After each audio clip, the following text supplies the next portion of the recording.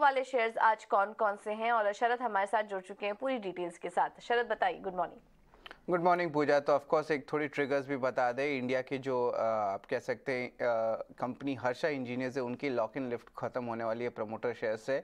और ग्लोबली देखा जाए तो ऑफकोर्स आज एक इंपॉर्टेंट एफएमसी की रेट डिसीज़न है यूके के सीपीआई डेटा है और ईआईए की क्रूड ऑयल इन्वेंट्री रिपोर्ट है तो बहुत सारे मैक्रो फैक्टर्स फोकस में रहेंगे। लेकिन खबरों वाले शेयर्स पे फोकस करते तो हिंदुस्तान जिंक ने अपनी चौथी इंटरिम डिविडेंड की अनाउंस की छब्बीस रुपये प्रति शेयर का।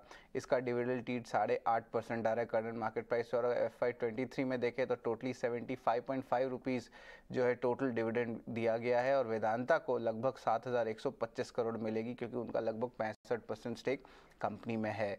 ग्रीव्स कॉटन में प्रमोटर्स ने लगभग अस्सी हज़ार शेयर्स की जो है एक्विजिशन की है और मार्च महीने में लगभग दो लाख शेयर्स की की है। तो उस पर भी फोकस रखेगा टाटा मोटर्स में भी अनाउंसमेंट आया है कि कमर्शियल व्हीकल प्राइसेस पाँच परसेंट बढ़ने वाले हैं और इसमें जो है एमिशन नॉर्म्स में बदलाव के कारण ये प्राइस हाइक हो रही है। दिव्यानी इंटरनेशनल में तेमासिक ग्रुप है। वो लगभग तीन परसेंट स्टेक 500 करोड़ के वैल्यू में बेचे हैं। दिसंबर में उनका लगभग छः परसेंट स्टेक था और बायर थे Franklin Templeton mutual fund Greenlam में जो है आसियाना फंड ने लगभग 2.6 परसेंट स्टेक की एक्विजिशन की है। एच इंफ्रा की बात करें तो एलवन बिडर आए हैं, लगभग 700 करोड़ का ऑर्डर पे। जाइडस लाइफ साइंस को यूएस अप्रूवल आया है एथरेटिस ड्रग को लेके।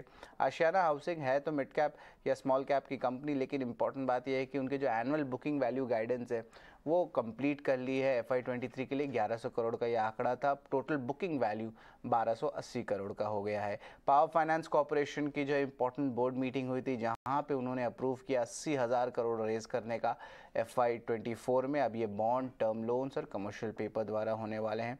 सोनाटा सॉफ्टवेयर फोकस में रहेगा। लार्जेस्ट एवर उनका आईटी डील उन्होंने किया है 160 मिलियन डॉलर्स का। अब ये कॉन्ट्रैक्ट 10 साल के लिए और US based consumer retail company के लिए और end to end IT solutions जो है सोनाटा सॉफ्टवेयर करने वाले हैं। और आखिरी स्टॉक रहेगा टाटा पावर उनके जो रिन्यूएबल एनर्जी आर्म है वहाँ पे उन्होंने 200 मेगावाट का एक सोलर पीवी प्रोजेक्ट जो है का, का करार किया है और एम के लिए वो करने वाले हैं महाराष्ट्र स्टेट में। हम्म तो Tata power Sonata software power finance corporation Ashiana housing और green lamb H D infra जैसी कब, तमाम कंपनियाँ हैं। आज हम देख रहे हैं कि स्मॉल कैप और मिड कैप स्टॉक से जुड़ी भी काफ़ी ढेर सारी खबरें हैं। यहाँ पर आप नज़र रखिए। बहुत बहुत शुक्रिया शरद आपका समय देने के लिए और ये सारे डिटेल्स खबरों वाले शेयर्स हमारे सामने रखने के लिए। बात करते हैं ब्रोकरेज हाउस के रिपोर्ट्स की। कहाँ पर नज़र है उनकी और उनके रडार पर कौन कौन से स्टॉक्स आ रहे हैं? एक बार इस, ये भी देख लेते हैं और विनी हमारे साथ जुड़ चुकी हैं पूरी डिटेल्स के साथ। विनी गुड मॉर्निंग, बताइए। तो पहले स्टार्ट करते हैं जो बैंक्स पे ब्रोकरेज आई हुई है, ये मॉर्गन स्टैंडी से है। वहाँ पे मॉर्गन स्टैंडी हाईलाइट करा कि इंडियन बैंक की जो बैलेंस शीट है, अभी वो काफ़ी स्ट्रांग हो चुकी है रेजिलियंट हो चुकी है। हिस्टोरिकली देखिए, उससे काफ़ी बेटर हो चुकी है बैलेंस शीट तो ऑब्वियसली वहाँ पे स्ट्रॉन्ग ग्रोथ है स्ट्रॉन्ग परफॉर्मेंस है स्ट्रॉन्ग होल्डिंग है कैपिटल में. एसेट क्वालिटी इंप्रूव हो चुकी है बैंक्स की. लिक्विडिटी टर्म्स पे भी काफ़ी स्ट्रॉन्ग है बैंक्स की बैलेंस शीट इंडियन बैंक्स की बैलेंस शीट तो इस हिसाब से वो लोग प्रिफर कर रहे हैं large private banks Kotak appear कर रहा है कि वो काफ़ी स्ट्रांग है अपने पेयर से भी और एक्सपेक्ट कर रहे हैं कि स्ट्रांग अर्निंग्स भी आएगी ये बैंकिंग सेक्टर में से। तो वो प्रेफर करते हैं उनका टॉप पिक है आईसीआईसीआई बैंक और एक्सिस बैंक आईसीआईसीआई बैंक का टारगेट है one thousand two hundred and fifty rupees per share और एक्सिस बैंक का टारगेट उन्होंने दिया हुआ है one thousand two hundred rupees per share अब शिफ्ट करते हैं फोकस और बात करते हैं वेदांता और हिंजिंग पे।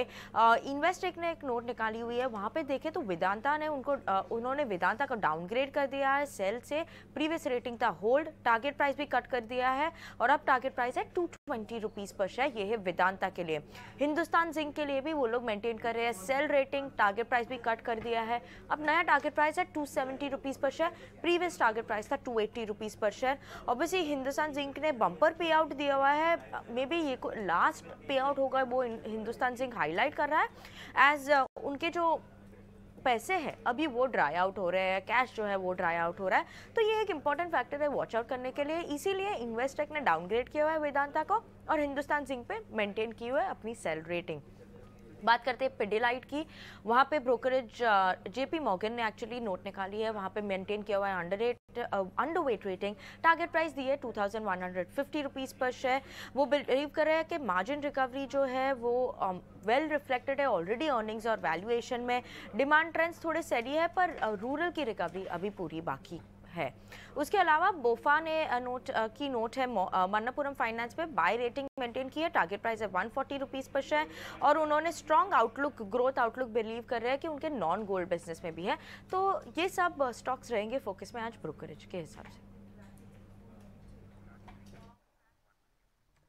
हम्म ओके okay, बहुत बहुत शुक्रिया विनी आपका ये सारी जानकारी देने के लिए। तो ये कुछ अहम ब्रोकरेज हाउस की रिपोर्ट है आप देखिए।